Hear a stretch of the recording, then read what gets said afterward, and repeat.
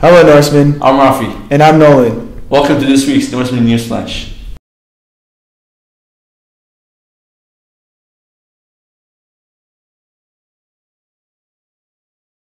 Um, so what was the initial reason that it was created?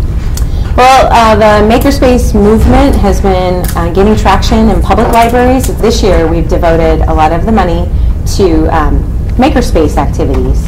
Um, and um, one of the things that students do is they use the pick apart table. I just find uh, old electronics mostly uh, and allow students to take them apart all the way to the bare bones. Um, and oddly, it's very, very popular. Uh, once students start, they have a really hard time stopping themselves because tinkering, and that's what they're doing, is tinkering. It's really good for um, like creativity um, and exploring uh, and discovering um, the answers to questions that students develop on their own. Another one of the tables is called Art a la carte, and we use one of the old library carts, and they're filled with um, art supply, bracelet making, jewelry making, Mod Podging, um, and we'd like it to expand. So if you have ideas, uh, let us know. Um, it's a movement of, of, we've kind of moved away from making things by hand.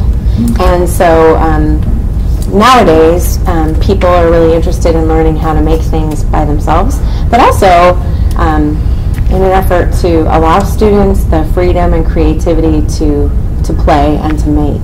So we also have a lot of games available. So um, every day at lunch, before school and after school, kids meet and, and just play games. Time when they um, don't use their phones and don't use their computers, that they just sit and talk.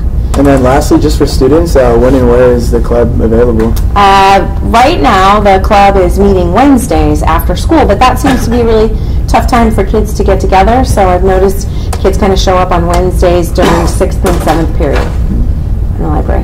All right, thank you. You're welcome. Seniors, your Spirit Pack's going to be coming to you on sale next week.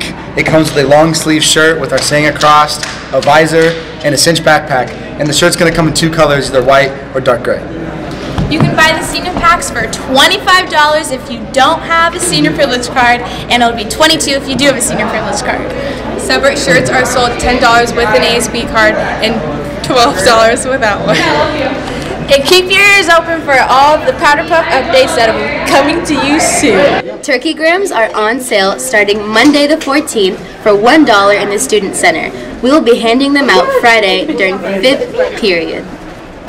Also next week we will be having thank you grams that you can go down to the student center and write on. We will hang them across the boards at school to show what you're thankful for. Freshmen, are you ready to seek out success? This week, counselors will be leading ninth graders through career-based activities and assemblies. Turkey grams will be sold all week. An SOS Freshman Parent Night will be held on Tuesday, November 15th in the Quiet Study area.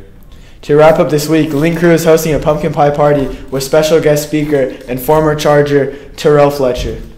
Valhalla senior Kevin Myron has been selected as El Cajon Elks Lodge 1812 Teenager of the Month for December 2016.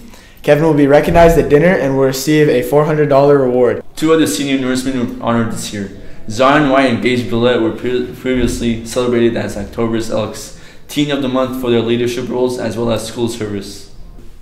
Valhalla Theater presents Julius Caesar. December 8th through 17th, tickets will be on sale for $8 for students and $10 for adults. For more information, go to valhallatheater.com. Come out and support your Valhalla Norsemen as the fall sports season comes to a close.